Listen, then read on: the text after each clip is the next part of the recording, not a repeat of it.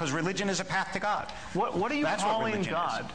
What Where am I calling where- God? Where is God? God is the intangible creator of the universe in whose presence a human being can live and according to whose dictates or will a human being can live in this world. But what, what is your evidence for the existence of God right I now? don't have evidence because it's not a scientific claim. Okay, but unless can you want to say, thing. unless you want to say, oh, well, I mean, I shouldn't say it that way.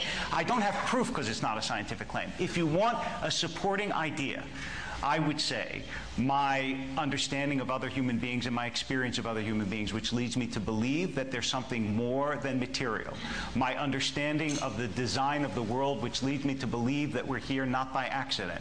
My appreciation of the fact that human beings, even though we are made of stuff, have consciousness, which leads philosophers like Galen Strawson to assume that even rudimentary material has consciousness because he mm-hmm. can't explain how consciousness arises. Right. My experience of religious human beings and the way they live and the fact that they live in harmony to my perception with an invisible order that gives them a life of a certain sanctity and This is, holiness. this is a general claim. Religious you're human beings I mean, generally live in harmony with, with No, I, I said my experience of certain human beings. I mean, I can keep going if you want me to keep going. Well, no, I think you've put enough on the table. that- Okay, but all, none of those are scientific evidence. Ma- Many, of those- ma- many yeah. of those claims trespass upon the territory of science overtly. I mean, the, the claim about Mm-hmm. uh, your, your understanding other human beings being suggestive of a divine artificer. Mm-hmm. Is that a Um, scientific claim? Absolutely. I mean, Extraordinary. i- i- is your understanding of mathematics also suggestive of a divine art, artificer? No, it has to do with my experience. Your ability to learn language? Do you understand? It has to do with my experience of you. When I'm looking at you right now, Right. you may assume that what I see is a material, but that's not what I see. And it's not what I believe.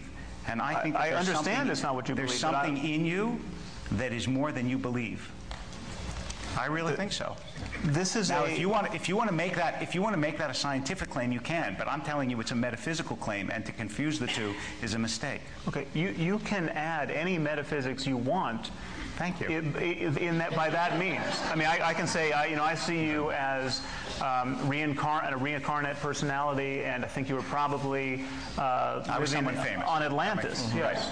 Don't make me like a washerwoman in a Pe- people, people do this all the time. I mean, you, you can broadcast. I mean, this is this is constrained by our common sense in every other domain of discourse. I mean, just take for example, the people who think Elvis is still alive. Okay, what what's wrong with this claim? I mean, why is this claim not vitiating our academic departments and corporations? Mm-hmm. I mean, I'll tell you why, and it's, it's very simple. We have not passed laws against believing Elvis is still alive.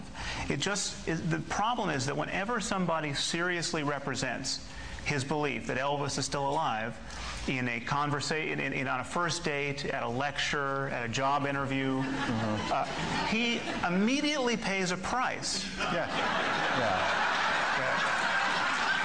He, he pays a price in ill-concealed laughter. Right. N- Now, surely you can agree with him. Now, that, that is a good thing.